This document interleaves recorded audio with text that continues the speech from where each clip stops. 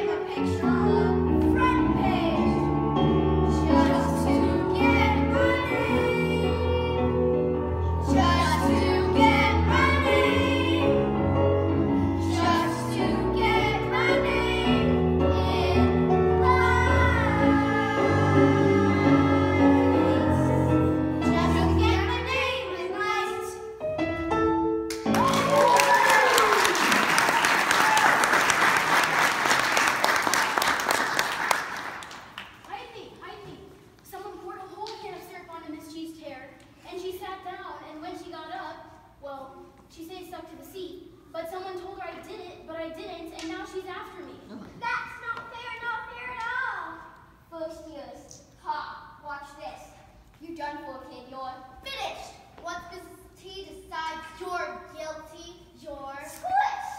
Once she caught Judas eating a gobstopper during jazz class. She just picked him up, slung him around, and threw him out of the window!